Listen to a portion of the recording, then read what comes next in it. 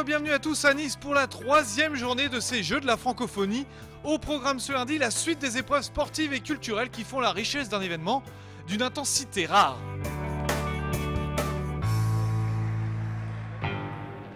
Et au programme ce lundi, le tennis de table, focus sur le tennis de table, la petite balle ronde avec les quarts de finale et la victoire des Polonais Michal Bakos et Maja Krevika face à la paire canadienne Shen et Shan, une victoire 3-7 1. Victoire également des Wallons Julien Hindenweb et Nathalie Marchetti face aux Canadiens Québec Pierre-Luc Thériault et Likan Lee. Enfin à noter la victoire, la belle victoire des Français 3-7-0 de Romain Lorenz associé à Laura Gagné face à la paire suisse Philippe Merz, Rachel Ashvanden. Direction le foot à présent avec la suite du tour préliminaire et la belle confrontation entre la Côte d'Ivoire et la République démocratique du Congo. Alors vous le savez, hein, les euh, Ivoiriens sont en orange, les Congolais en blanc.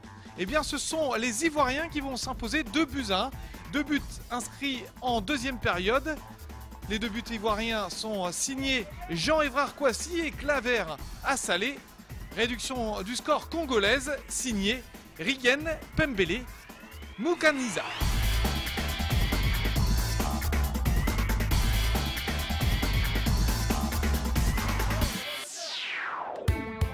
Les Jeux de la francophonie, c'est du sport, mais également de la culture, avec les ateliers de peinture et de sculpture qui prennent place à l'Acropolis de Nice depuis le début de la semaine. Alors, les artistes venus du monde entier proposent et démontrent leurs œuvres, que ce soit en sculpture, mais également en peinture. Les badauds sont également nombreux à venir voir ces œuvres, toujours plus impressionnantes les unes que les autres. Les 55 nationalités quasiment représentées sur ces Jeux de la francophonie sont représentées. L'Acropolis toujours avec les ateliers. Les ateliers sont nombreux avec toujours beaucoup d'artistes pour venir et continuer leur création jusqu'à la fin de la semaine. Création, vous voyez, en tout genre pour tous ces artistes francophones.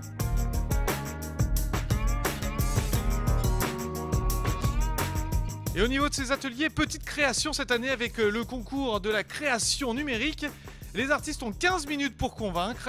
la création d'images numériques est faite via le logiciel Toon Loops. Les Français sont représentés par Grégory David, la Wallonie par Antoine Bout, le Liban par Ziad Filfili et le Canada par Francis Teberguer.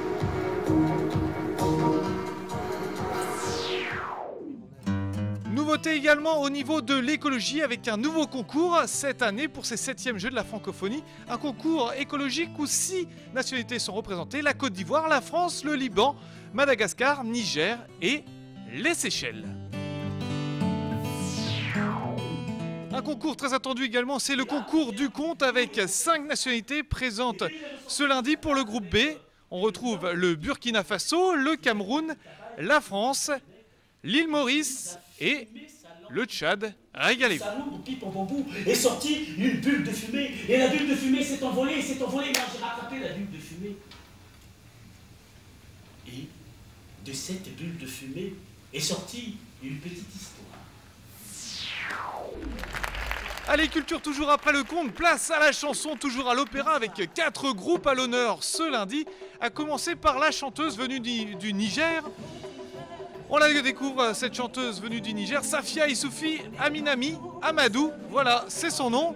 On retrouve également ce lundi des chanteurs venus d'Haïti, de Suisse et du Canada.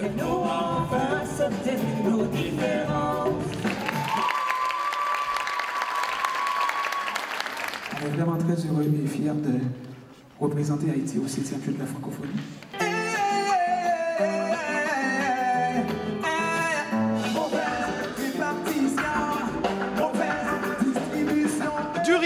La chanson, du sport, de la culture, il y en a vraiment pour tous les goûts dans ces 7e Jeux de la francophonie à Nice. J'espère que vous vous régalez. En tout cas, on va reprendre une petite dose demain, mardi, pour la suite de ces Jeux de la francophonie. À demain. Ciao